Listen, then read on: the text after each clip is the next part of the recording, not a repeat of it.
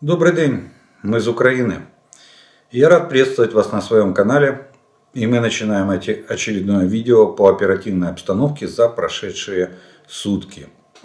И сегодня у нас на календаре 25 декабря, киевское время, 19 часов. Ну, начать хочу с приятной части. Э, поздравить нашу службу безопасности Украины – всех ее сотрудников и причастных к ней людей с их профессиональным праздником День службы безопасности Украины. Когда я служил в генеральном штабе, они приходили к нам ну, в определенное время, а периодично приходили к нам на сверку документов. И мы в шутку и с любовью называли их «Служба Божья Украины» так как они всегда везде, всюду и должны все знать и все предугадать. Так что пожелаем им в этом, на этом поприще э, новых успехов. Ну а теперь об оперативной обстановке. Э, оперативная обстановка за прошедшие сутки не претерпела больших изменений. Ситуация на фронтах э, на некоторых участках критическая, но в основном стабильная и контролируемая. Э, враг продолжает сосредотачивать усилия на огненной дуге, как я ее называю, от Купинска до Маренки. Э, даже, может быть, возьмем больше до Угледара. Но, тем не менее, наши войска отбивают все, все попытки атаковать или штурмовать э, наши позиции. За прошедшие сутки противник 50 раз применял авиацию, нанес 50 авиационных ударов, 11 ракетных ударов и 70, совершил 75 обстрелов из реактивных систем залпового огня. А, усилия сосредотачивал, как я и сказал, на тех же самых направлениях. Купинская, Лиманская, Бахмутская, Авдеевская, а, Шахтерская и Марьинское направление. А, на Волынском, Полесском и Сиверском направлениях а также слобожанском направлениях изменений в обстановке не произошло. Кстати, надо отметить, что прошедшие сутки отметились более меньшим количеством воздушных тревог, но во всяком случае центральной, а, в центре Украины. Вот. Но на востоке Украины воздушные тревоги продолжают звучать и сегодня, и а, ракетные удары продолжаются. Нету, слава богу, нету таких критических попаданий и нету э, такого большого количества жертв, как это было в предыдущие двое, э, двое суток. Э, что по Белоруссии изменений никаких. Там российские войска продолжают совместное учение с белорусскими. Они будут проходить до 3 апреля, как я уже говорил. Российские мобилизованные продолжают обучение на полигонах в Брестской области и в районе Осиповичей авиация поднимается периодически в воздух. Ну вот сегодня МиГ-31 с утра не взлетали, поэтому э, по всей территории Украины воздушная тревога не объявлялась. Э, в остальном, в остальном ситуация контролируемая и, и, и, понятная, и понятная для нас. Что касается линии фронта, то на линии фронта противник продолжает на перечисленных мной направлениях, продолжает атакующие действия. На Купинском лиматском э, направлении все те же населенные пункты пытается противник атаковать, но это Серебрянское лесничество, Деброво, Белогоровка и Спорная, но успеха не имеет несет потери и откатывается на исходные рубежи. Бахмут. Здесь ситуация намного а, а, сложнее. А, Орехово-Василовка и Богдановка, вот эта северная часть э, выступа над Бахмутом, здесь продолжаются активные штурмы со стороны противника. И в самом городе Бахмуте идут ожесточенные бои. Противник пытается прорваться к центру города. Но, в принципе, наши силы обороны э, держат э, обстановку, хотя ситуация, ну, еще раз повторюсь, на грани критической. Но процитирую генерала Залужного, который сегодня высказался о том, что происходит сейчас в Бахмуте. Он сказ сказал, цитата, Благодаря титаническим усилиям сил обороны обстановку удается стабилизировать. То есть мы не просто отражаем атаки и удержим оборонительные рубежи, но мы наносим такой а, а, объем а, поражения противнику, такой ущерб противнику, что количество атак со стороны противника начинает постепенно снижаться. То есть они достигли пика своих возможностей и теперь, теперь эта уже ситуация начинает идти на спад. Более конкретно о том, что же там, что же там может происходить и на других направлениях, я будем говорить в военно-политической обстановке, потому что это касается и наших, и наших э, партнеров тоже. Авдеевка, Марьенко и Шахтерское направление. Здесь э, ситуация остается без изменений. Противник продолжает атаковать. Э, безуспешно. Мы удерживаем на, в районе Авдеевки на севере и на юге.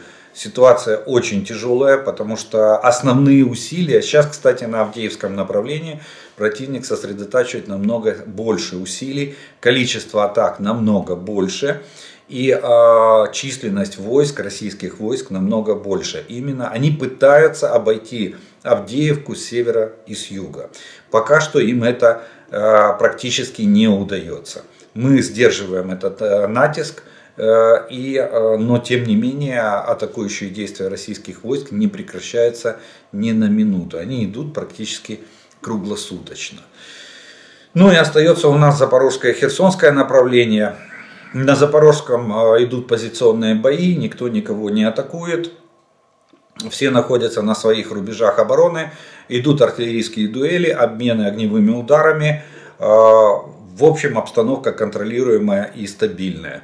На а, Херсонском направлении надо, э, тут единственное надо что отметить, тоже здесь без изменений, идет контрбатарейная борьба, то есть артиллерийские дуэли с нашей стороны, со стороны российских войск. А, обстрелы продолжаются правого берега, но в общем ситуация стабильная и контролируемая. Надо отметить по поводу Каховки. Да, такая произошел казус. Генеральный штаб выдал такую информацию, что якобы оттуда выходят войска. А как оказалось, это ротация войск. То есть одни вышли, другие зашли.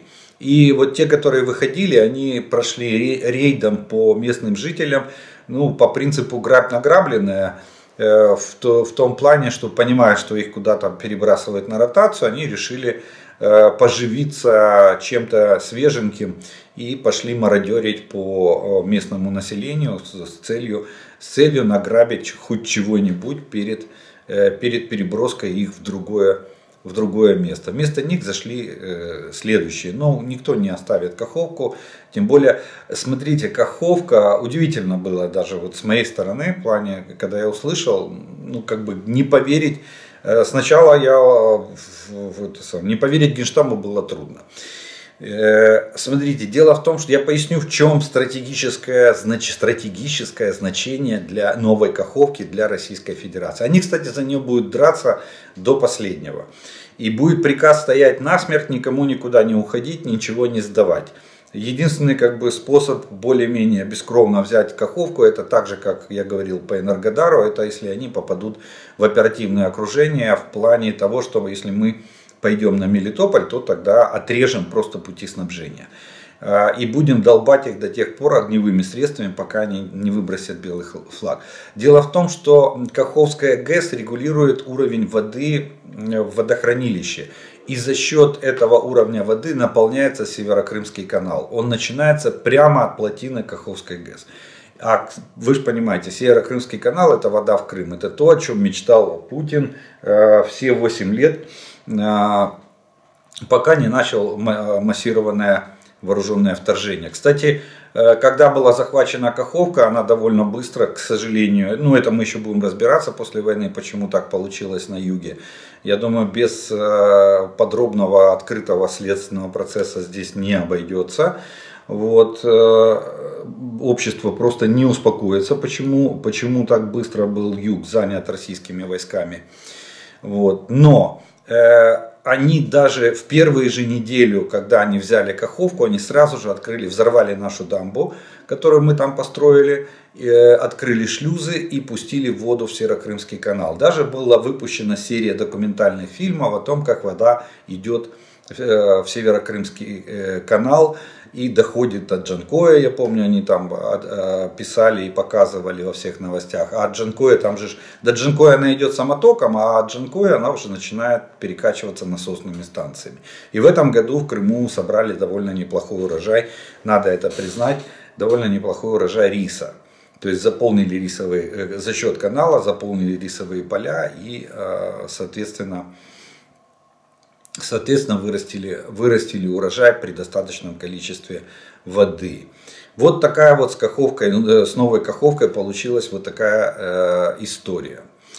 Надо отметить, что на, оккупированных территориях российские войска продолжают терроризировать местное население. Росгвардия там иногда срывается с поводка и устраивает облавы э, с проверкой документов, с проверкой мобильных телефонов, э, пытается выявить, кто помогает э, вооруженным силам Украины. Так что будьте, те, кто находится на этих территориях, будьте осторожны и будьте внимательны, не сохраняйте ничего на телефонах. Есть куча инструкций в интернете, как правильно чистить телефон, что э, удалять, что оставлять и так далее и тому подобное. Для того, чтобы пройти все эти, э, все эти контроли. Вот такая вот, э, ну и, конечно же, в конце военной обстановки мы не можем не сказать, что да, надо еще отметить, что в Крыму продолжает работать ПВО. Э, там непонятные взрывы и э, непонятная стрельба э, из стрелкового оружия, из пулеметов, из пулеметов турильных и система, работает система ПВО, но пока с нашей стороны никакой официальной информации нет, поэтому трудно сказать. Может они там тренируются, может им не спится просто ночью, поэтому они стреляют в воздух и будут своих соседей, чтобы те бдели Э, безопасность Крыма, крымского воздушного, воздушного пространства над украинским Крымом. Э, кстати, по информации нашей разведки и по информации даже наших разведки наших партнеров, э, также эту информацию подтверждают представители Меджлиса крымско-татарского о том, что Э, россияне вывозят семьи, продают недвижимость, э, как коммерческую, так и жилую, э, причем по бросовым ценам стараются как можно быстрее продать и покидают, покидают полуостров. Правильно делают. Как говорил Ленин, правильной дорогой идете, товарищи. Уезжайте по добру, по здорову. Ну и что надо еще отметить, это то, что урожай, какой урожай собрали силы обороны за прошедшие сутки. Итак, за прошедшие сутки э, силы обороны Украины по всей линии фронта собрали следующий урожай. Ликвидировано 720 российских оккупантов. Уничтожили 6 танков, 11 боевых бронированных машин, 6 артиллерийских систем, 9 реактивных систем залпового огня, 1 вертолет – а, насколько я помню, это был Ми-24, вертолет огневой поддержки, 6 беспилотников оперативно-тактического уровня, 19 автомобилей и 2 единицы специальной техники. Ну, я напомню, там вопросы задавали, чтобы отдельно не отвечать, что специальная техника включает в себя э, инженерные машины, средства и радиолокационные станции войск РЭП и РЭР радиоэлектронной разведки и радиоэлектронной борьбы. борьбы. Вот это относится к специальной технике. Инженерные машины, еще раз говорю, станции РЭП и станции радиоэлектронной э, разведки. Э, далее надо отметить, что ну, мы раскрутили. Вот э, у нас такая есть э, черта а, черта, наша ментальность в том, что мы всегда сразу, мы максималисты. Вот если, если побеждать, то надо сразу и сейчас. А, президент Зеленский, давая в интервью э, Йоу Миу, э, Йомиуре, если я правильно прочитал, с моим английским, э, давая вот японское издание, он дал ему интервью и отметил следующие тезисы. Я из его интервью, он сказал, что а, ну, что у них нехватка боеприпасов у нас. Мы пока не вышли на паритет по боеприпасам, по артиллерии имеется в виду, что вооруженные силы Российской Федерации используют, используют втрое больше боеприпасов, чем вооруженные силы Украины ежедневно. Далее, Украина не может и не отправит солдат в наступление без достаточного количества нужного вооружения. Это вот к тому, что э, все, все так спешат, что надо идти завтра, когда, когда. Все, и все вопросы со всех сторон одни и те же. Когда мы пойдем в контрнаступление, когда будем готовы. Далее, касаемо переговоров с Россией, для них нет условий на сегодняшний день. Ну, условие одно единственное. Других условий быть не может и априори. Э, как, как бы это вывод российских войск с территории Украины. Все. Вот, кстати, Олаф Шольц э, очень четко после саммита Евросоюза четко сформулировал это, эту задачу, что а, окончая миром, мир наступит тогда, когда российские войска покинут территорию Украины, сказал Олаф Шольц. Далее, Китай. Э, по Китаю президент Зеленский отметил, что Китай не предлагал Украине своей помощи в урегулировании э, конфликта никакой, никаких предложений от Китая не поступало. И на предложение э, от нашей стороны, кстати, Украина выступила инициаторами, и офис президента обратился к китайскому, э, к руководству Китая э, о том, что мы готовы к телефонному разговору или к встрече. Я так понимаю, что даже было приглашение отправлено, чтобы Си Цзипинь Пин по Э, посетил Киев, а почему бы нет? Все посещают, Джо Байден посетил, а що Сі Цзепінь не може, не, не, не може чи боится, не сказать бы по-другому. Вот. Э, посетить Киев и услышать нашу точку зрения, нашу позицию э, согласно урегулированию. Но китайская, китайская, как отмечает наш президент, о разговоре или встрече реакции Пекина пока не поступало. Но, кстати, тут надо прокомментировать дополнительно. А, видите, Китай вмешался и не дает нам покоя. Тут надо прокомментировать дополнительно вообще вопрос э, вмешательства Китая в наш конфликт. Китай, вот то, что мы с вами и говорили, что Китай только за себя. Только. И, и Китай старается ну вот, э, как говорят, китайская философия, да, обезьяна, сидящая на берегу реки, ждущая, когда трупы врагов проплывут мимо нее. Так вот, именно это, это сейчас и демонстрирует Китай. Что они сделали? Китай а, по возвращении Си Цзепиня, один из чиновников э, китайских, довольно высокопоставленный, а, огласил, якобы в интервью какому-то там китайскому изданию, ну мы же понимаем, что Китай это тоталитарная страна, вот, э, какому-то китайскому изданию сказал, что Киев и Москва и одобрили э, мирные инициативы Китая по урегулированию нашего конфликта. И сослались на одного из высокопоставленных чиновников в Киеве. Очень хотелось бы услышать фамилию этого чиновника, который одобрил, или политика. Э, который одобрил э, мирные инициативы Китая, а это немедленное прекращение огня и, и переговорный процесс. Вот. Э, но боятся, что якобы Киев боится об этом сказать вслух, потому что рассадником войны и рассадником терроризма и угрозы мировой, угрозы миру являются Соединенные Штаты Америки. Вот вам риторика Китая. И, кстати, в этой риторике я усматриваю такой момент, что Китай за счет наших территорий хочет отхапать территории Российской Федерации. Он хочет не просто мир в обмен на территории, а, а такой себе тройной между собойчик сделать. Мир в обмен на, для России обмен, в обмен на территории Украины, а Китаю за это а, территории Российской Федерации. Понимаете, какая? Получается, что немедленное прекращение, по китайскому варианту, немедленное прекращение огня, это значит застолбить то место, где сейчас стоят российские войска. А Китай в результате от, у России отхапывает, ну вот этой вот ползучей экспансии, как я вам рассказывал, без единого выстрела, забирает Дальний Восток и Восточную Сибирь. И все, и вроде как все, все, все, все довольны, все смеются. Но это смеются только и довольны в Пекине. Вот. А Москва, получается, с пировой победой, с одной стороны, вроде как кусок Украины отхапала, но при этом потеряла весь Дальний Восток. А, ну, а мы, конечно же, в проигрыше, в полнейшем, а, потому что подписание очередной договоренности на таких условиях, это будет еще одна отложенная война, которая рано или поздно все равно начнется. Мы это уже проходили. Поэтому Китай, как я и говорил, Китай ведет свою игру в свою пользу и не собирается ни за кого переживать или болеть. Очень, очень тоталитарное государство и работающее только на себя, только в своих интересах.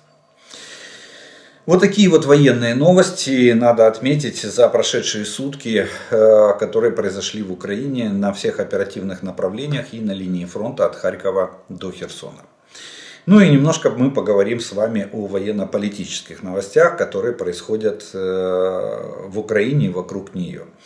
Э, нельзя не отметить, в Соединенных Штатах 44 армейских генерала и адмирала, ну правда отставные, обратились в администрацию Белого дома с экстренным призывом оказать, немедленно оказать помощь Израилю в предоставлении ему самого современного вооружения. Речь идет в основном об F-15И самолетах, F-35, авиазаправщиков КС-46А, это летающих и высокоточных планирующих бомб типа JAM. Это вот то, что Соединенные Штаты сегодня предоставляют нам. Мотивируют они это тем, что Э, Иран стоит в шаге от э, создания атомной бомбы.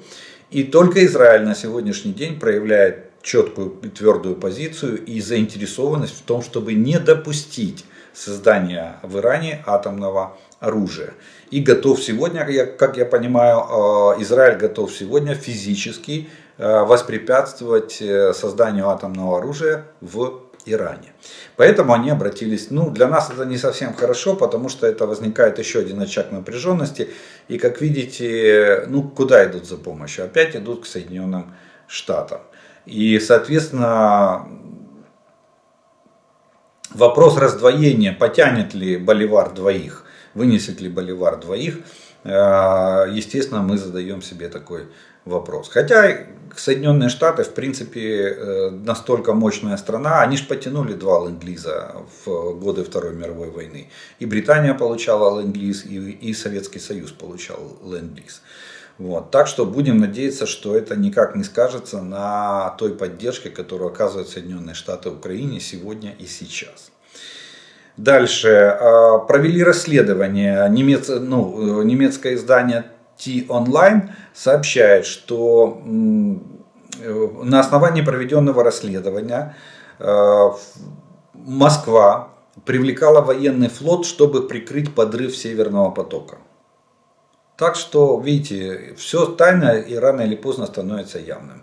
На основании расследования, все-таки все, все равно пришли Э, к тому, что Россия сама рванула этот северный поток и теперь и пыталась э, переложить ответственность на Европу или на других, ну даже на, даже версию рассматривали, что это наши диверсанты там опять приплыли и как-то там взорвали этот поток, что якобы, ну у нас нету глубоководных средств таких как у Российской Федерации. Так вот, немецкое издание сообщает, что за несколько дней до взрывов на газопроводах Северный поток-1 и 2 вблизи этих э, мест взрыва находились военные корабли России. В частности, за неделю до взрывов 19 сентября начались обширные маневры Балтийского флота Российской Федерации, которые могли быть использованы в качестве прикрытия для реальной миссии. Официально для участия в маневрах также выдвинулись водолазы 313-го отряда специального назначения из э, базы Балтийск в э, городе Калининграде. Это элитные солдаты, обученные подводным взрывным и диверсионным операциям. В последующие дни это подразделение э, последующие дни эти подозрительные суда обнаружили в районе места преступления над газопроводом Nord Stream. То есть они сами же взорвали и потом сами же обнаружили то место, где был, был произведен, а, произведен взрыв вот этих трех ниток, э, две Северного потока 2 и одной нитки Северного потока 1. Видите, как хитро. Вроде как э, сами же обнаружили, а еще оказывается сами же и взорвали. Вот, э, вот такое вот расследование. Так что Россия в очередной раз э, Россию поймали на э, лжи и на попытке списать свои проступки на кого-то другого. Ну, вернемся в Украину.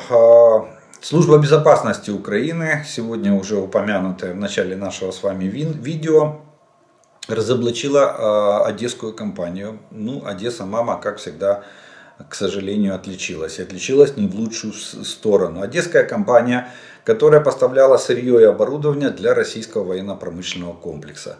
Они поставляли инертный газ, который используется для изготовления лазерных прицелов и прицельных комплектов для бронетехники. Ввозили в Российскую Федерацию через фирму прокладку на Ближнем Востоке. Известно, что предприятие фактически контролировалось гражданами России и было стратегически важным для оккупанта.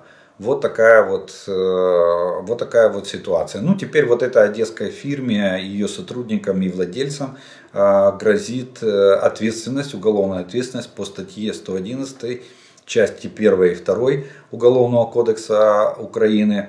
Это коллаборационизм и пособничество государству-агрессору.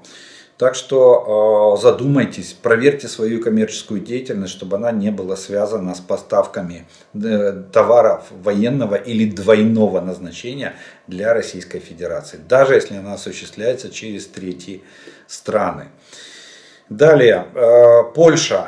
Польша не перестает удивлять, и молодцы, поляки идут э, в правильном направлении. Они, помните, я говорил вам, что ну, они построили стену на границе с Белоруссией.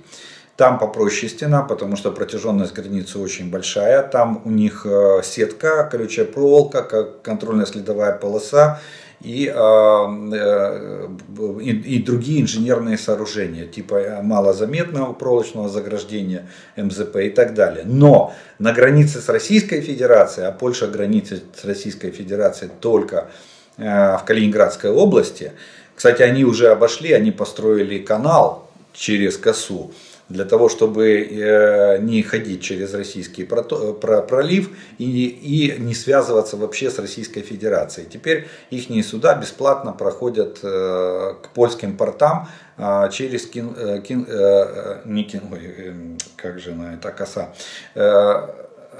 сейчас вспомню, скажу название, вот, через, через эту косу. Так вот, на границе с Калининградской областью, Кенигсбергской областью или территорией, Э, историческое название Кенигсберг. Э, берем пример с России и э, начинаем вспоминать исторические названия.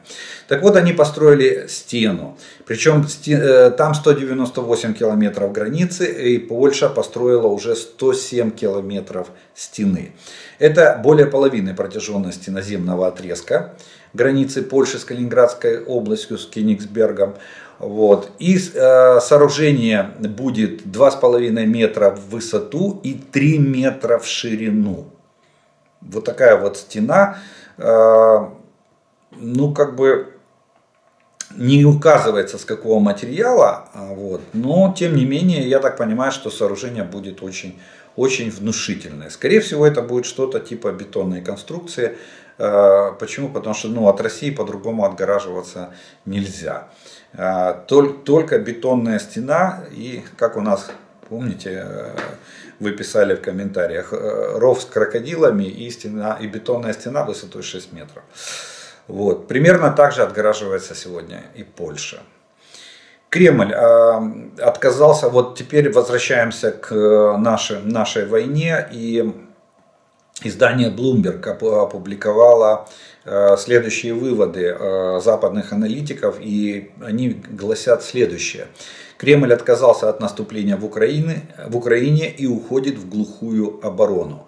Видимо, на России в конечном итоге э, все-таки реалии жизни начинают побеждать. Они понимают, что бессмысленная трата ресурсов не приводит ни к какому успеху, а наоборот ослабляет российскую группировку в Украине. Власти Российской Федерации приказали направить в армию еще 400 тысяч россиян для сдерживания контрнаступления вооруженных сил Украины. При этом в России опасаются проводить вторую волну мобилизации в преддверии президентской кампании 2024 года в ходе которой Путин планирует переизбраться на пятый срок. Ну и, кстати, Си Цзипин Пин ему пожелал в этом тоже успехов. При этом чиновники сомневаются в выполнении задачи по набору 400 тысяч человек на контракт. Ну я тогда уточню, давайте, они немножко тут, э, видимо, либо Блумберг что-то перепутал. У них э, Путин хочет мобилизовать до мая месяца полмиллиона. 400 тысяч контрактников, это он приказал, есть ну, такое по данным перехвата и некоторых источников близких к Кремлю. Путин сказал 400 тысяч контрактников до конца года, полмиллиона мобилизованных до мая месяца, ну еще будет в апреле еще будет призыв, который там порядка 100 тысяч. Как механизм работает, я вчера подробно рассказал. Как они вот рассылают сейчас повестки, якобы придите в военкомат для уточнения своих данных. Человек приходит в военкомат, ну его берут в оборот. И в конечном итоге он оказывается, если он упирается и не соглашается ни на какие условия, то ему вручают предписание, он оказывается на сборах военных, и там ему объявляют, что он уже мобилизованный и отправляет его через какое-то время на фронт. Далее, глава Э, глава э, европейской дипломатии, вот это будет нашим вишенкой на торте э, и новостью на пасашок, очень хорошее. Почему? Потому что хорошее заявление, сейчас я вам расскажу, в чем оно состоит. Дело в том, что опять началась волна, ну, непонятно, как ее поднимать. Но Россия, Россия, понятно, угрожает в очередной раз, там, Медведев их этот, который претендует на место Жириновского, но у него мозгов даже нету столько, сколько у Жириновского. Жириновский, надо отдать должное, э, говорил иносказательно, в, иногда в шутливом тоне, но э, мысль у него всегда была очень такая, довольно здравая. Вот. Ну а здесь просто вот такие э, вопли, вопли, говорят, большого любителя спиртного, Медведева, который там, не знаю, на какую роль он претендует, шута у трона короля или что-то такое. Но он опять пригрозил ядерным оружием. Опять он размахивает. Видите, обратите внимание, а, как Россия изменила риторику. Путин больше не пугает ядерным оружием, больше не демонстрирует мультики про ракеты «Кинжал», там, «Воевода», «Посейдон», что там, «Сарматы», «Арматы», ничего не летит, никуда не едет. Путин помалкивает в этом плане. А вот такие вот, э, а что потом скажут? Да, кто такой Медведев? Да он бухой был. Э, ля, что ляпал языком, вы не обращайте на него внимания. Вот. А вот такие люди, как Медведев, делают заявление, да мы тут сейчас радиоактивный пепел, там все что угодно. Вот. Но вот глава европейской дипломатии господин Барель сделал заявление, что визит Си Цзепина в Москву уменьшил риски ядерной войны. К этому пришел главный дипломат Евросоюза, к такому выводу. По его словам, Си Цзиньпин очень четко дал понять пути, э, Путину, что э, ему не стоит применять ядерное оружие в этой войне. Действительно, Китай стоит на позициях конвенциальной войны, то есть войны обычным вооружением. Ник, никто не хочет ядерного заражения на, в центре Европы. Также Барель добавил, что Европейский Союз пока не видит доказательств, что Китай планирует предоставить России вооружение. А, это тоже очень хорошая новость. Э, почему? Потому что у них тоже есть э, хорошие разведслужбы и у них тоже есть своя информация. Если э, они об этом говорят, значит можно, можно предположить, что они знают, о чем идет речь. Так что вот такая вот э, новость э, прозвучала в Брюссель, из Брюсселя за прошедшие сутки, что нас не может не радовать. Что ж, на этом мы с вами первую часть нашего видео закончим по военной и военно-политической обстановке. Я по традиции делаю паузу. Э, те, кто не, подпис... не подписан еще на мой канал, пожалуйста, подпишитесь. Э, не забудьте включить уведомления, чтобы вам приходили о появлении новых видео на моем канале. Э, тем, кто просто зашел посмотреть и кто смотрит по подписке, пожалуйста, поставьте лайк. Тогда это видео смогут увидеть как можно больше людей. Вот. Ну э, и через некоторое время мы с вами продолжим.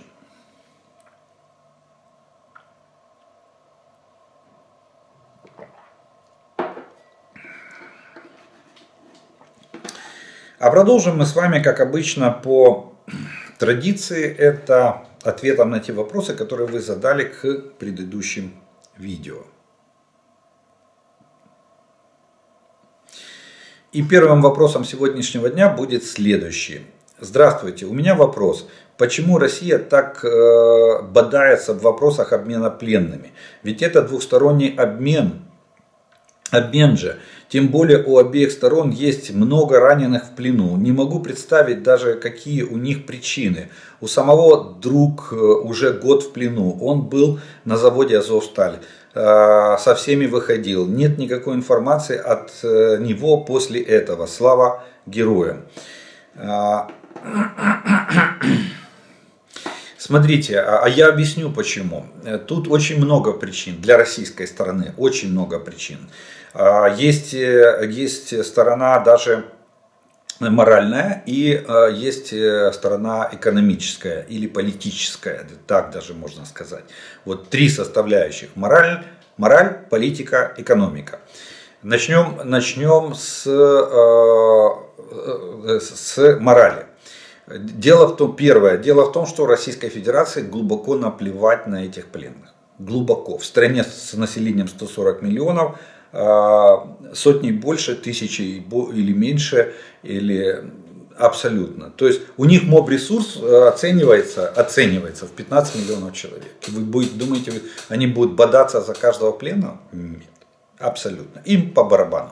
Раз. Второе э, они очень боятся возвращения этих пленных в ряды, э, они же их не отпускают домой.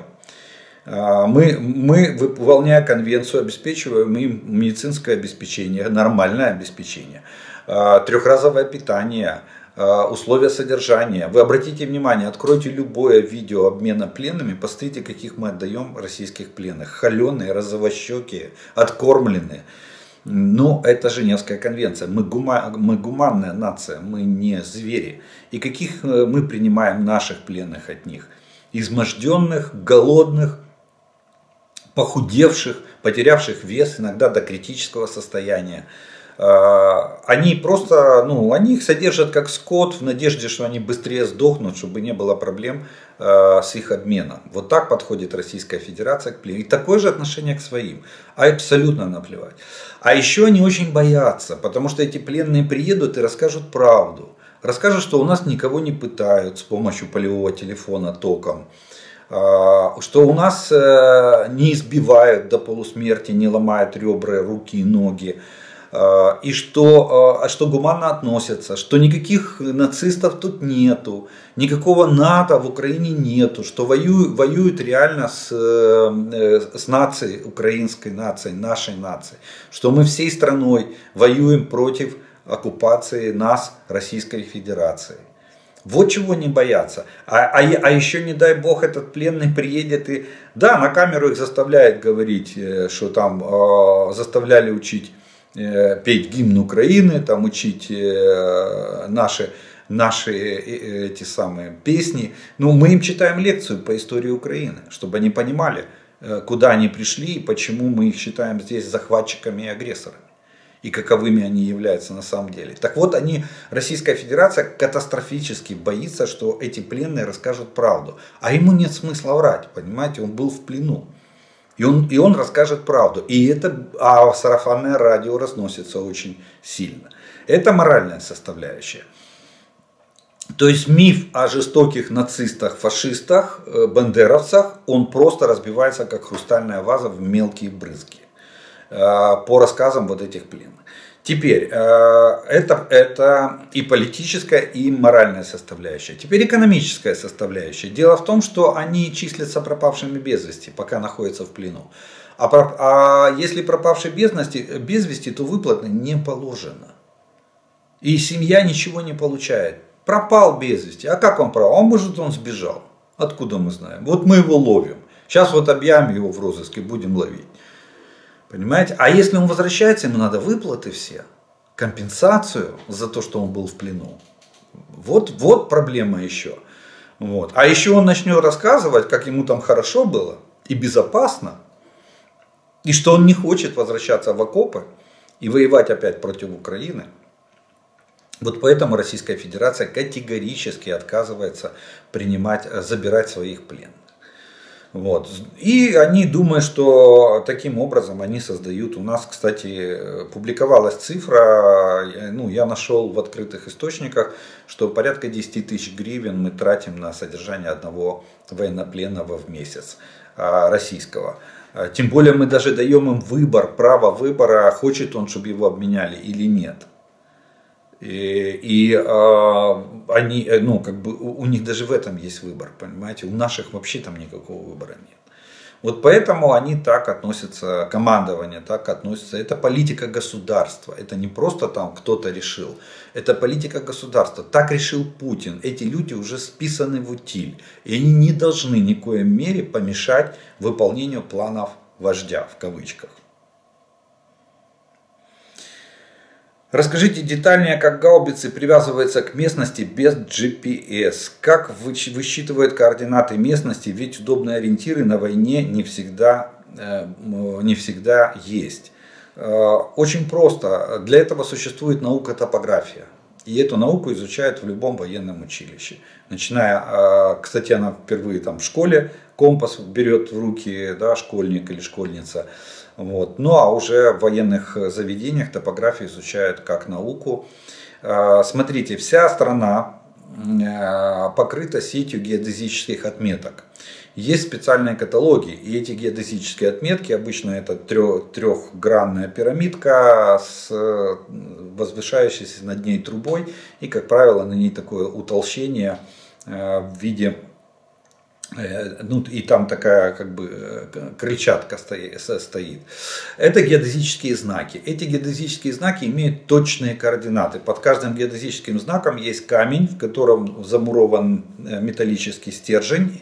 И на этом стержне есть маленькое перекрестие, надрез ножовкой по металлу. Вот эта точка, она точно привязана. Эти координаты есть в каталоге. И эта вся геодезическая сеть находится на местности. И она построена таким образом, что с одной точки должно быть видно не менее трех точек. Вот. Э, других, других отметок, геодезических отметок. И, соответственно, берешь лист карты, ищешь геодезическую отметку, примерно ориентируешься на местности, э, накалываешь место, где ты стоишь, потому что карту и местность ты сличаешь, при этом масштаб карты берется очень мелкий, точнее а, очень крупный, это 1 50-тысячная или 1 25-тысячная. Для привязки огневых позиций более точно используется карта 1 25-тысячная. Проблема с количеством листов этой карты, да, а, мы даже иногда не склеивали эти карты, а просто вот э, раздельно использовали листы э, там, где ты стоишь на огневой позиции. Так вот, ты, ты ориентируешься на, мест, на местности, накалываешь точку на карте, где ты стоишь, смотришь, видно ли эти геодезические знаки. Если их не видно, ты ищешь э, те моменты, которые на карте наносятся с определенной точностью. Это, допустим, допустим там а, такие объекты, как заводские трубы. Да, они наносятся очень точно на карту. Все, снимаешь их координаты с помощью хордоугломера, с помощью циркуля, чтобы было более точно. Снимаешь их координаты и, соответственно, а, опять же решаешь задачу э, как минимум три направления, треугольник строишь, и центр этого треугольника это будет твое место положения. Так что привязывались с помощью карты. Не было GPS. Привяз... Кстати, так и начинали воевать в 2014 году. А, я помню, оказывал помощь в мае месяце 2014 года. Э, кончились топографические карты на, в Широкино в районе Мариуполя. И э, вот тогда вот первые планшеты появились для привязки к местности. С помощью планшетов э, была первая программа, по, э, где были цифровые карты. Вот. И, и соответственно, и, соответственно, когда закончили, а до, до появления планшетов воевали вот на, на бумажных картах с помощью топографической привязки. Ну, вот. Так что вот таким вот образом определяется за счет геодезической сети, за счет э, нанесения ну, ну, правил нанесения на карту определенных объектов, которые наносятся довольно с высокой точностью. Э, у нас были топографические войска, э, подразделения, которые э, занимались именно вот топографической съемкой местности и картографией. Они выдавали результаты, и потом военная фабрика картографическая печатала эти карты и писали заявку и их получали для повседневной работы. Они считались расходным материалом, после каждой выдачи они списывались э, актом, что как использованы. Часть из них там э, в виде склеек и разработок э, во время командно-штабных игр, командно-штабных учений или тренировок, вот, или штабных тренировок, они оформлялись как отчетный материал, присваивался гриф секретности, и они закладывались как отчет о проделанной работе в в, хранились в частях определенное время, согласно, согласно этим самым. Но все было на бумажной карте, все делалось с помощью топографии. Э, так, э, кроме военной обстановки, интересно было послушать ваши впечатления от посещения Китая в разные периоды. Очень хочется услышать такой же анализ по поводу ваших путешествий в Японию. Очень важно быть в курсе военных действий в Украине, но иногда хочется отвлечься и узнать что-то интересное из жизни людей в странах, которые там э, нам помогают. Тем более из э, вашего опыта еще раз спасибо. Ну, Япония, страна восходящего солнца. Э, здесь был регресс. Вот сразу скажу, это была полная противоположность Китаю. Если в восьмом году Китай ничем не впечатлил, а, даже некоторыми вещами удивил, то, в, то Япония в 2011 году, первое посещение было Японии, а, Япония порвала. Вот Япония, она э, было впечатление такое же, как в 2019 году произвел Китай. Это мы прилетели на другую планету. А, вот там в 2011 году в Япо... вся Япония летали скоростные поезда, больше 300 км в час кругом были, был такой нюанс, э, что вообще, ну, чистота идеальная в Японии. Кстати, урн нету в Японии мусорных баков нету. Они сначала вместе с супермаркетами они появились на 8 частей японцы, как швейцарцы э, разбирают мусор. И сначала они появились только возле супермаркетов, но потом их все равно тоже убрали. Японцы смогли с этим справиться. По философии Япония мусор надо нести домой и дома уже выбрасывать его там в определенном, в определенном порядке. Ну, вы в Токио, где бы вы ни гуляли, вы не найдете ни одной урны. И не найдете бычка, валяющегося, или жвачки, э, выплюнутой на, на тротуар. Э, кругом чистота. Э, такси в, такси в Японии это Toyota Corolla 70, 70 -го года образца но они до сих пор выпускаются, до сих пор они ездят. И не удивляйтесь, что таксист будет э, в черном костюме, белой рубашке с черной бабочкой, фуражкой, белых перчатках. А машина будет внутри оборудована, садиться можно только сзади, и машина будет вся украшена там кружевами и там гипюром, ну, очень э, такая вот. Это Япония, там суперсовременные технологии граничат с э, такими я бы сказал, историческими э, моментами или историческими традициями. Э, когда вы первый раз увидите карту метро Токио, э, упадете в обморок. Но когда вы один раз проедетесь, вы поймете, что карта очень подробная и вообще пользоваться метро очень просто. Действует единая электронная карточка, на которую ты покупаешь карточку под залог, ложишь на нее деньги, и деньги снимаются в конце поездки. Можешь делать там кучу пересадок, э, выходя из метро, ты проводишь ее в турникете, и у тебя считываются деньги за всю длину твоей поездки, поездки с учетом, с учетом всех, э, всех этих самых, э, всех поездок. И там вот прошлое и настоящее, оно постоянно граничит. Токио был отстроен после землетрясения 60 по-моему, восьмого года или 60, ну, в 60-х годах было землетрясение, которое сильно разрушило Токио. Они после этого пересмотрели, и все дома, сегодня в Токио 28 небоскребов. Мэрия Токио расположена, э, не помню количество этажей, 245 метров высота здания. Здание стеклянное, оно качается под, собственной, э, под собственным весом, имеет амплитуду качания, на, работает смотровая площадка на, по-моему, 45 этажей там, э, круглосуточно. Ты просто проходишь контроль на предмет там, э, опасных предметов, нельзя проносить. Поднимаешься на лифте, отдельный вход на верхние два этажа. И вот на верхнем этаже ты подходишь, нет стены, стекло. Нет поручня, нет ничего. Ты стоишь на краю бетонной плиты, и перед тобой стекло, и весь город Токио. 245 метров высота. И здание немножко покачивается. Все, небос... все здания в Токио имеют внутренний маятник, который в два раза гасит, э, гасит колебания. Э, при этом мы были, как, мы были через 6 э, месяцев после Фукусимы, после трагедии, да, но, чтобы вы понимали, Токио полторы тысячи по статистике, полторы тысячи толчков э, в год, подземных толчков, это сейсмическая зона. И э, нас трясло, да, когда ты лежишь на 16 этаже 35-этажной гостиницы на кровати, и здание начинает вдруг очень довольно сильно качаться. Э, в телевизоре появляется заставка, диктор, который начинает говорить, а у тебя в тумбочке фонарик с, и батарейки, и схема эвакуации. Как, как ты должен выходить из этого здания. Смотришь в окно, японцы идут, даже не обращают внимания. Потом по телевизору говорят, было землетрясение магнитудой 3-4 балла. Вот, э, вот такое вот э, там бывает. И это, и это полторы тысячи раз в год. То есть это может быть по 3-4 раза в день, а может быть, что толчков не будет совсем. А, они решили проблему бытового мусора. Мусор сортируется на 8 частей. Они делают из него прессованные блоки, сбрасывают их в океан.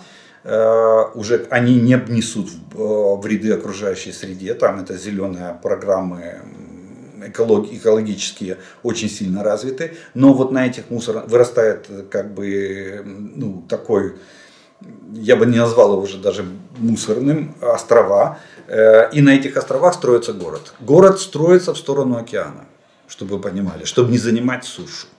Вот таким вот образом. Ну а дальше Э, конечно же, тогда в 2011 году ну, поражало буквально все. В японском ресторане нельзя оставлять чаевые. Ни копейки. За, если вы оставите там хоть э, какую-то мелочь, самую мелкую монету, за вами будут идти и просить, чтобы вы ее забрали. Почему? Потому что они считают это оскорблением. Потому как э, в, в меню указана цена стоимости блюда. Это так повар оценивает свой труд. И если вы оставляете чаевые, вы хотите вроде как отблагодарить, да, вот разница в менталитете европейском и, и э, азиатском, Азии. Э, а они считают это оскорблением, потому что думают, что они недооценили свой труд. Поэтому вы хотите им заплатить за блюдо больше, чем оно стоит, согласно, согласно прескуранта. Вот в, в этом особенность, не, не вздумайте. Э, очень у них есть такая традиция, что если женщина, вот они популяризируют национальную одежду, если женщина одевает э, национальный, национальный наряд, вот это кимоно, да, э, там эти стуколки деревянные, то ее бесплатно пускают в культурные заведения. То есть музеи, библиотеки, она, она, ее пропускают бесплатно. Всех, все остальные покупают билеты и идут, посещают. Ну и ну, Киото вторая столица, Токио это третья столица в Японии. Киото была вторая столица в Японии, они переносили, трудно, уже не помню причину, а первая столица город Нара. Особенность этого города состоит в том, что э, там никогда не бывает землетрясений и тайфунов. Вот такой парадокс. Там была первая столица. Но ты приезжаешь в город, первое, что ты видишь, это стада Э, вот этих э, пятнистых оленей. Э, или белые олени его еще называют. Ну, у нас это называют косуля. Они ходят по всему городу. Это священное животное. Согласно легенде, считается, что Будда приехал в Нару и основал там город который стал столицей Японии. Там находится, кстати, самая большая в мире статуя Будды в закрытом помещении. То есть она внутри храма, высота статуи 14 метров. А, вот, э, чтобы, чтобы вы понимали. Э, и эти олени ходят везде. Их можно кормить, можно гладить, у них у всех спилены рожки, но их нельзя бежать и нельзя прогонять. Почему? Потому что это считается священное, священное животное. Вот. Э, вот такой вот кругом получается, что с одной стороны все суперсовременное, а технологии там и прочее, прочее. Ну, был казус э, с общественным туалетом э, в том плане, что э, зайдя в общественный туалет, во-первых, там идеальная чистота, идеальная, никаких запахов, ничего нету. И в 2011 году, когда мы увидели вот эту вот надстройку в туалете и пульт управления, китайцы, японцы очень не любят другие языки, очень на пульте, на пульте управления, на котором там был десяток, даже больше кнопок, а он выполняет этот э, туалет миллион там функций, ну, образно говоря, да, различных, э, гигиенических и там ком- комфортных и так далее. Э, и все на иероглифах. Каждая кнопка подписана иероглифом. И внизу в скобочках на английском написано пульт управления. Вот и весь перевод. И что хочешь, то и делай. Э, пока, пока, пока, пока не освоишься и, ну, и не поймешь, э, где какая кнопка и какую функцию он выполняет. Очень популярно у них шоу-кухня. Когда ты заходишь в кафешку или в ресторанчик для того, чтобы покушать, ты садишься на стойке бара и прямо перед тобой все это готовится, и тебе сразу же подается. Суши, роллы там прочее. А, очень впечатлил токийский рынок рыбный. Это самый крупный в мире а, рыб, рыбный базар. Ну, если так можно его назвать, токийский рынок. А, он открывается в 3 часа, в 4 часа утра э, когда рыбаки выгружают свою рыбу. Кстати, после ковида изменилось только то, что бетон стали застилать э, пленкой. Вот. А так, а вот когда мы были, на, выкладывается рыба, и до 12 часов рынок открыт для всех посетителей. Все ходят и смотрят улов. Улов разложен, там стоят представители вот этих рыболовецких, э, ну не знаю, там артелей, организаций или частных лиц. Э, и там вот тунцы по 300 килограмм или по 600 килограмм. Вот это все выловленное, все оно выложено. Кто что. В 12 часов рынок закрывается и начинаются торги. До 13 часов идут торги. Вот эта вся рыба уходит с молотка, что называется, на торгах. И с 13 до 15 рынок э, вывозит, каждый, кто купил свой товар, вывозит рынок. Самые вкусные суши, конечно же, вот в ресторанчиках э, в прилегающих улицах к этому рынку. Рынок современное монолитное э, здание железобетонных конструкций, стеклянное, очень красивое, огромное. Вот. А рядом улочка с двухэтажными домиками, которые такого миниатюрного размера, что другой раз боишься, влезешь ты в эту дверь или не влезешь. И это живут местные японцы, и там же вот эти ресторанчики. И там э, суши, чтобы вы понимали, шарик размером с, э, меньше 5 копеечной монеты риса, но кусок э, рыбы толщиной больше сантиметра. Вот. Не так, как у нас там 3 миллиметра и заворачивают большой, большой э, рисовый шарик в, в сушу. Там наоборот, шарик лежит на тарелочке, а, рыб, а рыба вот таким толстым кусочком огибает этот шарик и э, вот лежит, лежит на нем. Вот. вот такие вот э, особенности э, Японии. Это в 2011 году. А когда мы приехали в 2019 году в Японию, тоже уже буквально перед ковидом. Маршрут был примерно такой же самый, мы только добавили там еще этот самый промышленный центр Киото, Киото да. Вот. Э, немножко было разочарование. Разочарование в том, что вот то, что в 2011 году для нас было супер удивлением, оно так и сохранилось. Они за эти 8 лет они не изменились, японцы. Да? А, у них начало внедря... начали внедряться, и они даже немного отстали. Вот это даже было обидно. А отстали в том, что они э, начали внедрять вот эту интернет-банкинг, но он у них не пошел. Они еще в девятнадцатом году они брали карточку в руки и самостоятельно проводили ее в, через терминал. Хотя рядом стояли, стояли блоки PyPass, и вот э, в, Кио, в Киото, в музее железной дороги, государственный музей, э, на кассе, покупая билеты, я говорю, что она хочет взять мою карточку кредитную, я говорю, ну нет, не надо брать. Вот PayPass, давайте я приложу карточку и оплатим. Она смотрит такими глазами, я понял, что они не, не, не понимают, что это такое мы отдали, я дал карточку, они провели эту операцию вот так, как мы, мы в, сам, в самом начале. Помните, когда продавец брал карточку и проводил этой магнитной полоской по терминалу, вот, и так оно срабатывало, даже не через PayPass, еще когда PayPass а не было. А у них, но они готовились к Олимпиаде, вот, которая не состоялась из-за ковида. И мы задавали нашему гиду вопрос, как же так, а, у вас нет урн на улицах? И э, вот сотрудники так э, непривычные, а и во, мне, во, всех, во многих частных магазинах появилась надпись, когда заходишь в магазинчик, а там на картонке ручкой написано only cash.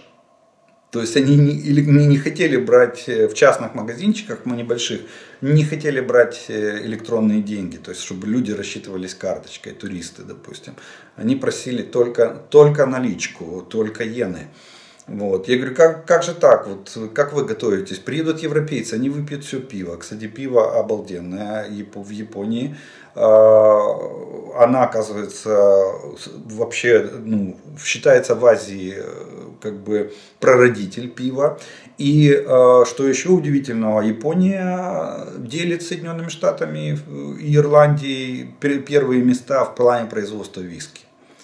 Япония мировой лидер по производству виски. Вот, э, вот такой вот.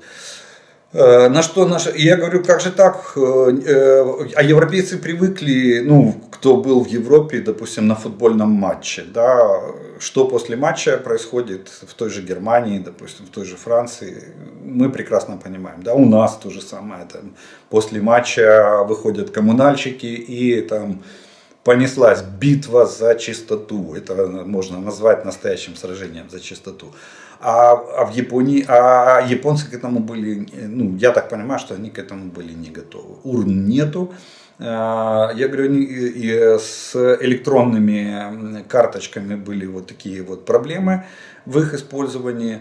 Вот. Ну, в общем, как бы страна э, очень удивляет. Удивляет вот их э, гостеприимство, удивляет их дружелюбие, удивляет их тоже работоспособность. А, японец трудится на одной работе от э, поступления на эту работу до пенсии. Если он в 40 лет потерял работу, это трагедия всей его жизни. А почему? Потому что в таком возрасте устроиться на новую работу очень тяжело. Ответить на вопрос, почему ты уволился с предыдущей. Вот. И они, поэтому вот они э, относятся к воспитанию детей, у них совсем другой подход.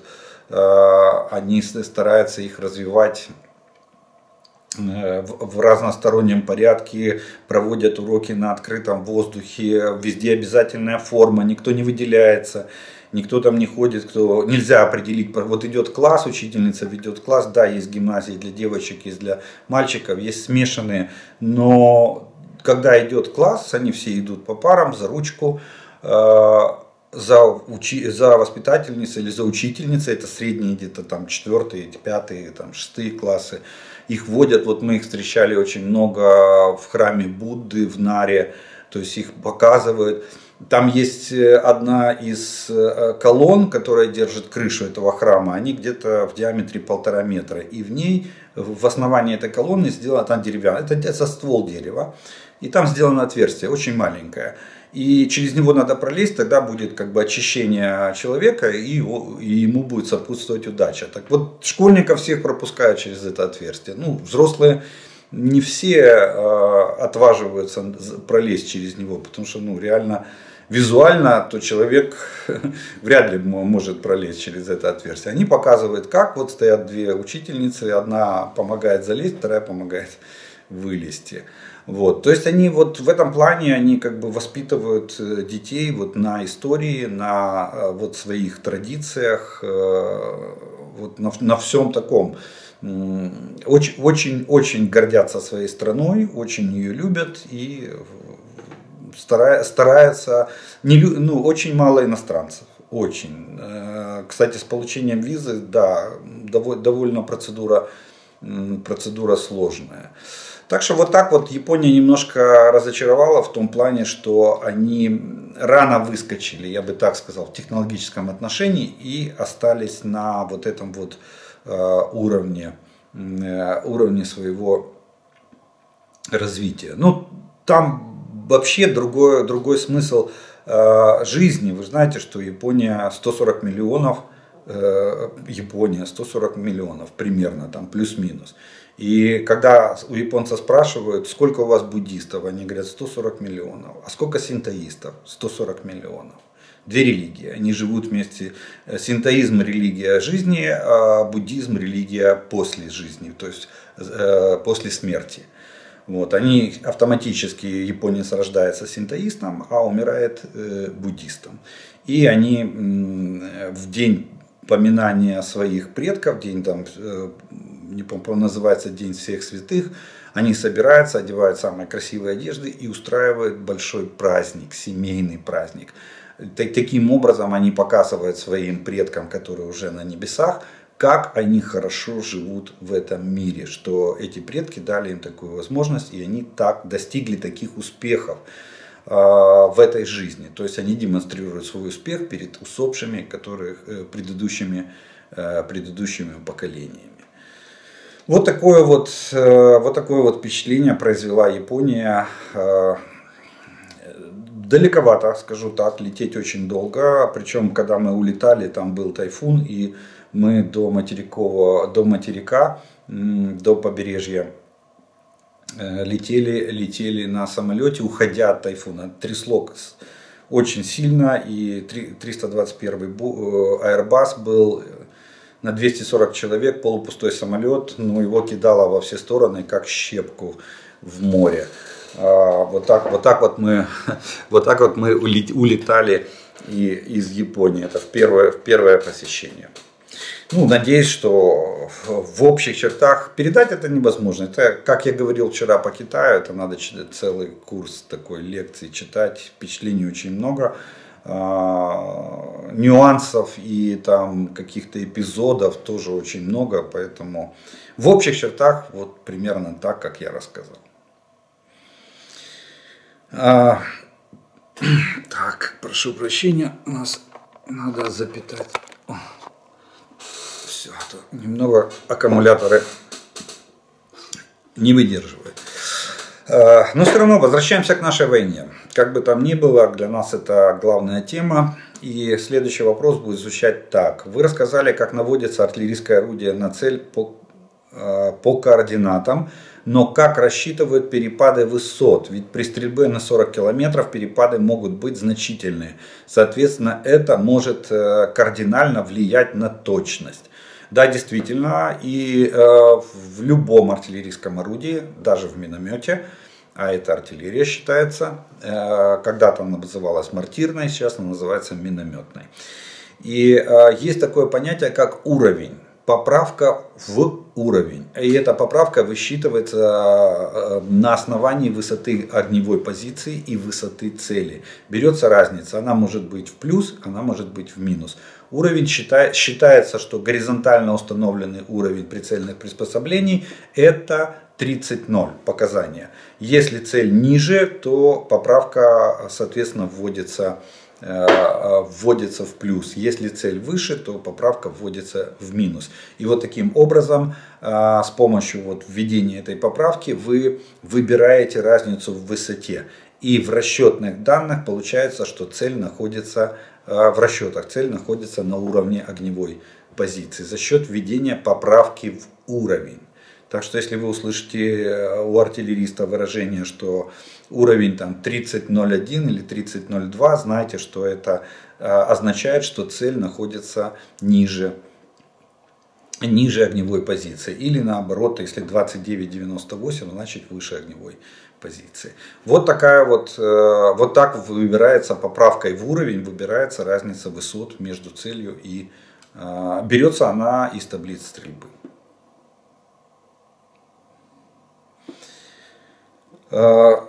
Здравствуйте.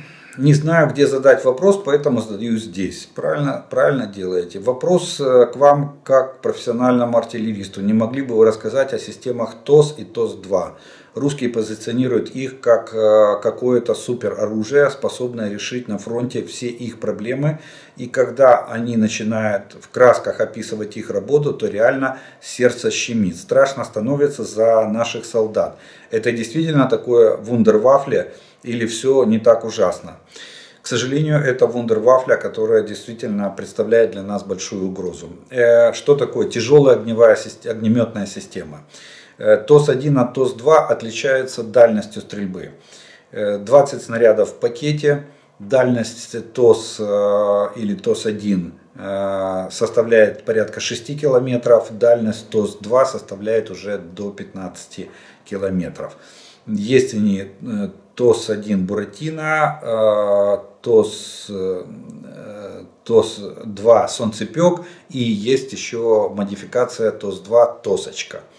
Вот три модификации есть.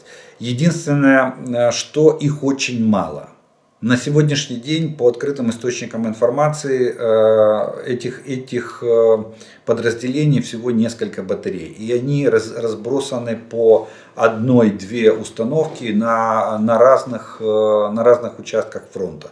Они относятся к особо опасным видам вооружения, и мы их выслеживаем и стараемся максимально уничтожить. Кстати, за последние несколько месяцев ну, я насчитал минимум 5 а, огневых систем, которые были уничтожены нашими войсками. Об этом отдельно всегда говорится в сводке Генштаба, что у, у, уничтожена тяжелая огнеметная система. Они применяют термобарические боеприпасы. Это обратный эффект объемно-детонирующим боеприпасам, но они имеют проникающее действие и там происходит двойной взрыв.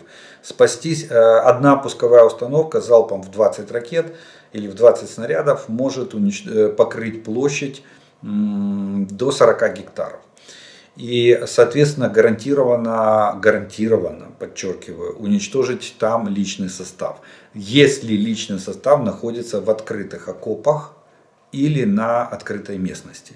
Если личный состав находится э, в броне, герметично закрытой броне, или, допустим, в помещениях, которые можно закрыть, окна и двери, да, то или, а, или подвал там в погреб спустились, э, закрыли крышку, то тогда а, действие этой системы не, не, не наносит смерти. Максимум может быть контузия. В случае проникновения вот этой э, э, взрывоопасной смеси, которая распространяется после падения снаряда до, до объемного, до второго, до детонации этой смеси. Вот. Так что да, действительно, довольно опасное оружие, но благодаря тому, что его очень мало и что благодаря тому, что мы за ним охотимся постоянно, он не представляет для нас такой критической угрозы. Наносит урон, да, довольно серьезный там, где он применяется. Вот. Но мы за этим, за этим очень тщательно следим. Очень хорошо, что россияне, как обычно, не успели ничего наклепать в больших количествах. Э, здравствуйте, разъясните, пожалуйста, как взаимодействует между собой система огня, а, система огня, откатники, система стабилизации на тяжелых арт-системах, да и, наверное, на любой арт-установке. Смотрел видео залпа Богданой. Так ее и другие такие же э, также подкидывает и трясет в работе. Визуально заметно, что выстрел совпадает с вибрацией. Влияет ли это на точность или э, на это делается поправка? Э, нет, на бросание снаряда поправка не делается. А, к сожалению, это влияет на точность ведения огня. Но э, угол бросания это когда снаряд выходит с канала ствола и ствол подбрасывает немножко, он уходит в откат и ствол чуть-чуть подбрасывает вверх. Вот это называется угол бросания. Он зависит от э, правильности регулировки механизмов орудия. На, система работает следующим образом. В тормоз отката который удерживает ствол для того, чтобы он не улетел далеко, а только откатился на полозьях и, э, при, и, и таким образом погасил энергию, энергию отката при выстреле. Он представляет собой обыкновенный, как, точно так же работает, как обыкновенный гидравлический амортизатор на автомобиле прокачивается жидкость через отверстие. В одну сторону прокачивается через маленькие отверстия и происходит его торможение ствола, а потом прокач... жидкость протекает через в обрат... при движении в обратном направлении накате так называемого ствола. То есть ствол, ствол должен вернуться в исходное положение и это, это называется накат когда он становится на место. Так вот, жидкость в отката протекает через большие отверстия и сопротивления не вызывает. А возвращается ствол за счет накатника. В накатнике э, сжатый воздух, который заперт э, гидравлическим запором, чтобы не стравливалось, э, не стравливался воздух. Там поддерживается определенное давление в, в этом накатнике. И за счет этого давления при откате ствола, при выстреле происходит еще дополнительное сжатие воздуха. Ну, обычно там 60, где-то 60, от 60 до 70 атмосфер в накатнике. А, вот их еще сжимает откатом орудия, а потом сжатый воздух, поршень Э, через поршень и шток возвращает ствол в исходное положение. И удерживает за счет изначального вот этого давления, там в 60-70 атмосфер, в зависимости от системы э, орудия, он удерживает ствол в, в исходном положении при любых углах возвышения. Вы можете максимально поднять ствол там, гаубицы на 87 градусов обычно, 87-88 градусов угол, подъем, угол возвышения ствола гаубицы, и он у вас не откатится, не сползет назад. Его держит накатник. Ну и третий механизм, который существует в артиллерийских системах, это уравновешивающий механизм. Потому что э, обычно цапфы, на которых стоит вся артиллерийская часть, то есть ствол с дульным тормозом и с казенной частью, она находится э, на казеннике. То есть вся длина ствола вот этого, она, получается, является как бы противовесом и рычагом вот э, казенной части орудия. Казалось бы, казенная часть вроде и большая, но она очень коротенькая получается. Так вот, чтобы уравновесить этот ствол, существует уравновешивающий механизм. В нем тоже давление э, за счет сжатого воздуха. Э, он уравновешивает ствол и э, таким образом при правильном, при правильном соблюдении или при правильном поддержании уровня давления в уравновешивающем механизме вы можете спокойно крутить э, рукоятку углов возвышения ствола, при этом ствол будет плавно опускаться и плавно подниматься. Если давление там больше или меньше, то естественно ствол будет опускаться или подниматься рывками. В одну сторону будет идти легко, в другую сторону будет идти очень очень, очень плохо. Ну, для, для понимания, чтобы э, пушка, 100-миллиметровая пушка МТ-12, э, противотанковая, гладкоствольная, э, у нее, в, у нее в уравновешивающем механизме э, давление 90 атмосфер. Вот такие вот используются э, цифры в артиллерии. Э, вот эти противооткатные и уравновешивающие устройства надо проверять э, периодически после определенного, либо в сезонное обслуживание, либо если орудие на хранении или в э, неинтенсивной эксплуатации, либо после определенного количества выстрелов, либо в случае выявления неисправности, недока, допустим, недоката орудия до исходного положения, это значит накатники маленькое давление, ну, если не работает тормоз отката, то, как правило, это приводит к обрыву штока и просто ствол съезжает с полозьев и вылетает из люльки. Все, орудие э, надо, надо вести в ремонт. Оно, оно испортилось. Ну, а уравновешивающий механизм, я вам сказал, что если давление маленькое, то э, вы будете опускать ствол, и он будет опускаться рывками, а поднять вы его не сможете. Если давление большое, то наоборот он будет подниматься, опять же, рывками, и, а, а вот опустить вы его уже не сможете, будет очень тяжело. Вот такие вот механизмы существуют, и так вот они. А вот то, что вы говорите, броса, бросает ствол, да, на видео всегда видно, что орудие подпрыгивает. Но оно подпрыгивает в момент, когда снаряд выходит из канала ствола. Единственное, кто может достать еще выходящий снаряд, зацепить, это дульный тормоз. Потому что сначала вырываются пороховые газы, когда дно снарядни, донная часть снаряда проходит через дульный тормоз, а потом уже снаряд выходит из самого дульного тормоза. И вот этот вот момент, если все отрегулировано правильно, снаряд успевает уйти, не, не коснувшись дульного тормоза. Если что-то неправильно отрегулировано, тогда э, снаряд может получить зацепить дульный тормоз и получит угол бросания и соответственно точность будет резко снижена. Э, вопрос э, есть к вам как, э, опять, как к артиллеристу. Зачем нужна пушка МТ-12 «Рапира», вот, которую я только что вспоминал. Если с нее по движущимся объектам, танкам БМП попасть очень сложно, если вообще возможно. Возможно. Дело в том, что, а, дело в том, что МТ-12, вот эти рапиры 100-мм пушки, очень эффективны по, для борьбы с танками и бронеобъектами противника. Попасть можно э, в движущуюся цель. Для этого, для этого и учатся артиллеристы, противотан, противотанкисты, э, чтобы попадать в движущий. Есть, берется упреждение, учитывается угол, то есть это может быть фронтальное, а, боковое, а, боковое расположение э, цели, э, фронтальное, боковое и облическое. Это где-то примерно там под углом 45 градусов плюс-минус. Во, во всех этих условиях шкала прицела позволяет брать упреждение – Видно же, с какой скоростью. Дело в том, что в атаке танки и БМП, как правило, не меняют свою скорость. Есть такой режим атака, а, когда там, допустим, а, а, если идет наступление в едином бронированном порядке или с применением бронетехники, то, как правило, там вторая передача для того, чтобы она максимальная мощность и более-менее скорость, и постоянные обороты двигателя. Там ставится 2-2,5 тысячи оборотов на второй передаче, и танки прут в атаку более-менее стабильно движутся. А, и у противотанкиста есть возможность примерно э, посчитать, сколько упреждения, полфигуры, одна фигура, для того, чтобы снаряд попал в движущую цель. Зависит от науч, наученности расчета.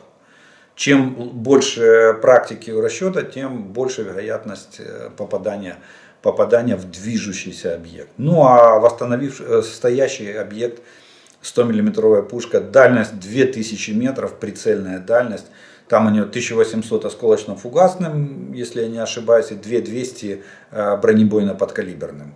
А кумулятивным 2000 э. И бронепробиваемость у нее, по-моему, если я не ошибаюсь, где-то 4, там в зависимости от снаряда. Бронебойно-подкалиберный там, по-моему, 600 или 700 миллиметров. То есть очень хорошая система. Вплоть до того, что э, вот когда мы учили эти пушки противотанковую или противотанковую артиллерию, э, главная задача была какая? Перебить гусеницу, остановить танк или БМП для, э, или заставить его повернуться к тебе боком или задом. Если он начинает крутиться, вот, то у тебя есть шанс потом второй снаряд влупить ему в борт или в задницу, в корму. Вот, так что, ну это бой. Это бой. Но пушки эти довольно эффективны. Маневренность их вызывает, конечно, вопросы, потому что танк тоже может довольно прицельно и даже на ходу за счет стабилизации ствола может вести огонь. И, соответственно, танк будет первое, что будет делать танкисты, это выбивать противотанковые средства из боевых порядков противника. Поэтому, да, сегодня птуры берут, берут верх. Вот. Но сотка, она в принципе старая, но надежная, ну, низкоманевренная, что является недостатком, но тем не менее с хорошей бронепробиваемостью артиллерийская система. Э, ну что ж, э, на этом мы, наверное, будем вторую часть сегодняшнего видео тоже заканчивать. Э, и у нас остается третья часть, это пожелания, приветствия, которые вы прислали к предыдущим видео. Итак, начнем. Первое пожелание, нет, первое приветствие будет звучать следующим. Сегодня начнем с приветствия. Украина это пример любви к родине. Украина это стойкость, мужество и героизм на этой планете. Россия пример э, добровольного рабства за пайку баланды и место в бараке. Лишний хромосомный раб э, будет славить Пуйла или другого руководителя вертикали власти. Вот такой вот комментарий. Кстати, про хромосому вы очень хорошо вспомнили. Да, русские же говорят, что у них лишняя хромосома. Ну, наверное, поэтому они так и мыслят. Расскажите, а, так, ну, ваш опыт в Японии я уже рассказал. Вот, про, там был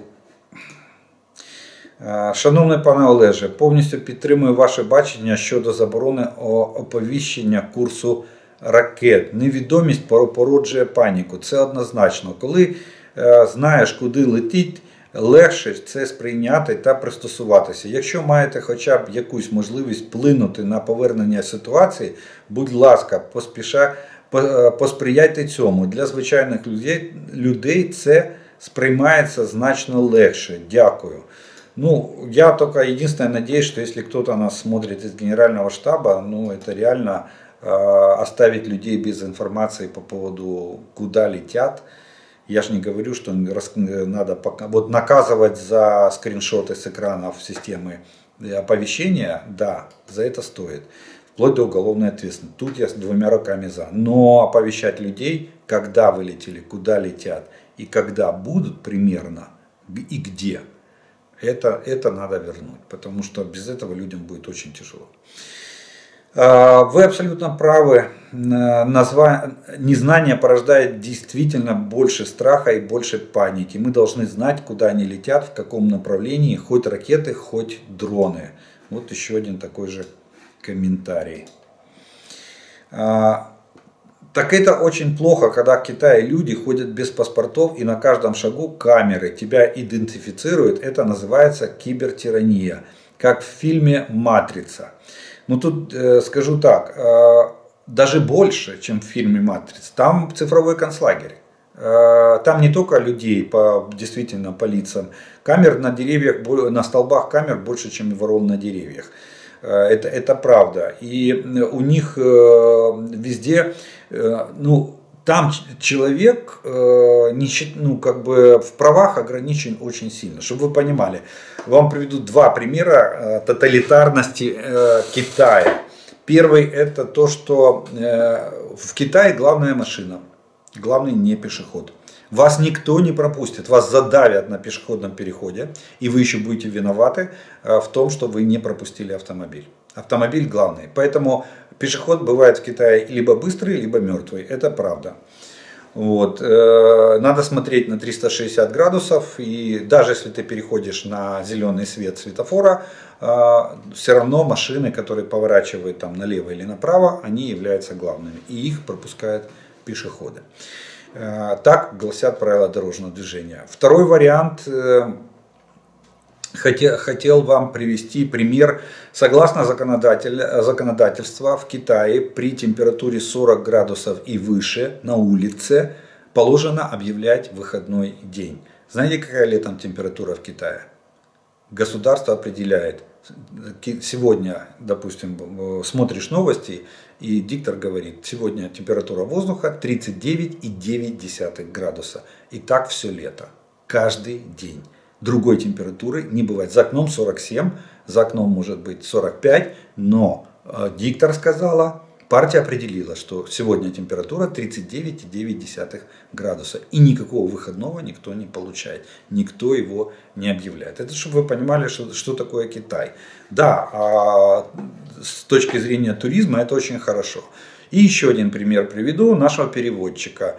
Наняли мы переводчика в Пекине, он перемес... Э, мы потом переехали в Гуанчжоу, перелетели самолетом, э, и его арестовали. Через 24 часа он пропал. Начали выяснять, где он, э, поехали к нему в гостиницу, а его, оказывается, посадили. Он получил 10 суток ареста. Знаете за что? А за то, что не стал на временную регистрацию. Оказывается, в сельской местности у тебя есть 72 часа, Если ты переехал из одного кантона в другой, зарегистрироваться в городе, у тебя есть 24 часа на то, чтобы зарегистрироваться в местной полиции. Если ты этого не сделал, 10 суток тюрьмы. Все, будь добр, метла в руки, лопата в руки и пошел убирать улицы. Вот что такое Китай. Вычислили его с помощью камер э, по системе распознавания лиц. Э, в течение 20, 24 часа истекли его ареста. Вот это Китай. И с одной стороны красивая культура, экономический рывок, но с другой стороны люди там живут в жестких, э, в ежовых рукавицах, и ни о какой демократии там даже речи быть, быть не может. Вот вам три примера я привел того, э, как живут, как живут обычные простые китайцы. Э, про Китай 2019 года вы э, путаете ощущение туриста и человека, который там живет. Вы увидели то, что вам дали увидеть. Вот тут, и вот это вы абсолютно правильно сказали. Я с вами на 250% согласен. Почему? Потому что точка стояния определяет точку мировоззрения. А, вот мы, мы когда были туристами и когда мы были э, по, по работе, это да, это абсолютно два разных. Ну, в общем, Китайцы очень запуганные, очень зашуганные, боятся своего руководства и боятся попасть, э, попасть в тюрьму. Штрафные баллы у водителей, кстати. Вот я тоже 12 баллов на год. Э, сняли, поснимали штрафные баллы, лишили прав. Сел в тюрьму э, на там, 10 или 14 дней. Взял лопату, пошел, пошел или взял метлу, пошел под метлу. У них очень жесткая Э, ситуация. Поэтому вы абсолютно правы. Да, туристы смотрят на Китай с открытым ртом и там, на все достопримечательности, которые у них там есть, на все их достижения. А рабочие, да, живут совсем по-другому. Э, согласно на все, ну, наверное, 100% плохо видно, информировать население, откуда, что и по каким областям летит, надо мы уже практически не реагируем на сирены воздушных тревог. Так хоть будем знать, что и куда летит. Кстати, это очень плохо. Привыкание населения, а, оно потом может влиять на количество жертв. Вот когда особенно там в жилых кварталах и люди не всегда выходят из дому для того, чтобы э, обезопасить себя. Мы же видите, как Куда летят ракеты, определить, ну, куда ракета попадет в конечном итоге, определить очень тяжело. Направление, да, в общем, в какую область, да, в какой город примерно, да. А вот в какой район и какое место, этого никто не, не может узнать.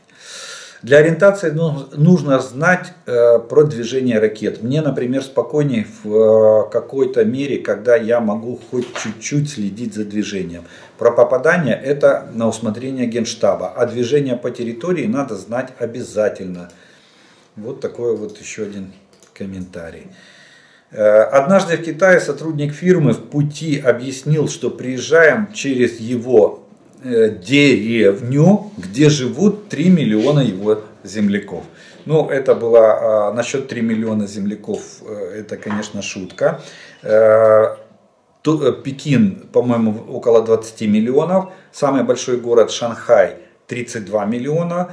Гуанчжоу с его знаменитой кантонской ярмаркой посещаемостью где-то 12 миллионов. А вот деревня, вот мы были Фашан, кстати, деревня недалеко, это, по-моему, от Шэньчжэня. Шэньчжэнь это центр, э, где компьютерное э, производство компьютеров, все железо компьютерное вот делают в Шэньчжэне. Так вот, Фашан это маленькая деревня, 800 тысяч. 3 миллиона это большая, это очень большая деревня. Вот. А такая средняя, средняя деревня, где-то даже они говорили, что она, она довольно маленькая. Это э, вот Фаш, была Фашан 800 тысяч. Можете по карте посмотреть, недалеко от Гуанчжоу. Но да, это, это насчет количества, это правда в Китае. Можно брать города и даже выигрывать сражения, но никогда нельзя покорить целый народ, который сражается за свою свободу и будущее своих детей. Слава Украине и ее мужественному народу. Вот такое вот приветствие.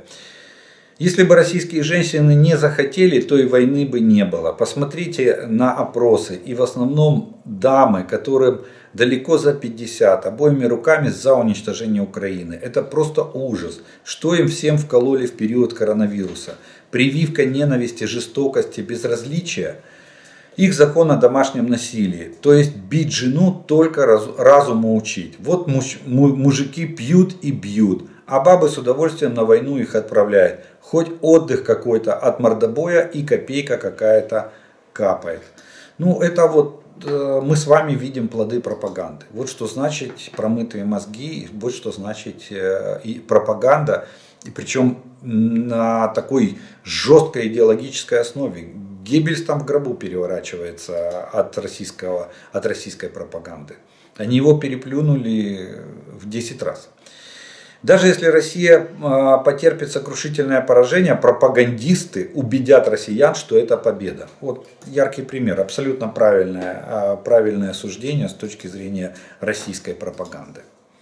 Жест доброй воли, да, отступили, мы их выбили с острова Змеиный, выбили с большими потерями. Они что сделали? Первое, что они показали своих убитых солдат и сказали, что это наш десант, который они разгромили. Потом, правда, э, э, слава богу, эти самые компьютерщики показали доказательную базу, что там пряжка была российская с гербом э, на солдате убитом, которую они показывали. Так они что сделали? Они объявили, что то, что мы их выбили с, с такими потерями, они ушли со Змеиным, это жест доброй воли. Вот вам яркий пример российской пропаганды, что свое поражение надо обратить в свою победу. В Израиле в каждом квартале построены бомбоубежища. Толщина стен и потолка от 1200 до 1500 миллиметров, то есть полтора метра. Количество арматуры тоже больше, чем при строительстве жилых домов. В настоящих условиях, если есть возможность, может быть вам удастся построить такие бомбоубежища. Если нет возможности строить новые бомбоубежища, то предлагаю в квартирах на первых этажах, которые расположены над подвалами, которые используются как бомбоубежище, залить железобетон, чтобы в случае прямого попадания потолок подвала выдержал. В самом подвале построить дополнительные опорные колонны из железобетона или э, металлических балок. Жильцам квартир объяснить, что это вынужденная мера и после войны переселить их в другие квартиры, так как высота от пола до потолка будет меньше, чем в обычной квартире. Эти же квартиры можно использовать как складские помещения или как нежилые помещения для коммунальных служб. Желаю скорейшего окончания войны и перемоги. Слава Украине! Ну, пусть опыт Израиля прозвучит и э, в нашем эфире. Скажу так. Здравствуйте. Вопрос. Имея спутники и другую разведку, наши партнеры не знают, сколько поставляют дронов, ракет и самое непонятное откуда. Как это странно. Харьков, Салтовка. А, ну вот, кстати, сначала прочитаю комментарий на ваш вопрос. Почему вы решили, что ваши, что, наши, что ваши партнеры не знают, сколько дронов и кто поставляет? Знать, может быть, и знают. Да сделать ничего не могут. США тоже не всесильные. Слава Украине. А, скажу так, что, а я еще дополню этот комментарий. Они нет, они все делают. Действительно, наши партнеры знают, что кто поставляет, и поэтому мы с вами иногда, э, не иногда, периодически, правильно так будет сказать, периодически, мы с вами наблюдаем, как появляются что? Вторичные санкции. Как вдруг турецкое правительство начинает э, официально публиковать список товаров санкционных, которые запрещено поставлять Российскую Федерацию. Как вдруг самый большой э, китайский этот интернет-магазин, э, не то, э, вот, по-моему, этот самый AliExpress, э, ну, не хочу ошибиться, поэтому не буду утверждать. Но самый большой китайский интернет-магазин прекращает отправку товара в Российскую Федерацию. Это же не просто так происходит. Это происходит благодаря кропотливому труду западных разведок, наших партнеров. Они узнают, сколько чего и кто поставил, а потом начинают разбираться, а что ж это за фирмы? Э, даже сейчас, даже помните, осенью вводили санкции Соединенные Штаты против американских компаний, которые поставляют товары двойного назначения куда? В Российскую Федерацию. И э, предупредило Министерство финансов США все американские компании, пересмотрите список товаров, чтобы не попали под, вторые, под вторичные санкции. Так что неправда, США делают все, что можно и давят на всех, включая Иран зная, что Иран поставляет комплектующие для тех же дронов, да, они давят в том числе и на Иран. И Иран, смотрите, периодически что, выходит министр иностранных дел Ирана и говорит, не-не, это не мы, это, это, это не, не мы поставляли. Не вводите против нас санкции. А санкции вводятся, потому что точно знают, что они поставляли, врут негодяи. А потом хлопки появляются на заводах, которые производят дроны или комплектующие к этим дронам вдруг непонятные пожары, хлопки, задымление, там, что еще они любят вы, вы, выдумывать, э, скрывая, скрывая то, что происходит реально на этих заводах. Вот такой, на такой оптимистичной ноте мы с вами сегодняшнее видео закончим. Я благодарю вас за, наш, за ваше внимание, что вы досмотрели до этого момента. Еще раз приглашаю, кто не подписан, подпишитесь. Кто посмотрел это видео, поставьте, пожалуйста, лайк, тогда его смогут увидеть э, большее количество людей. Благодарю спонсоров и тех, кто помогает каналу. Ну а, а ми з вами продовжуємо вірити в Збройні Сили України. Перемога наша. Слава Україні!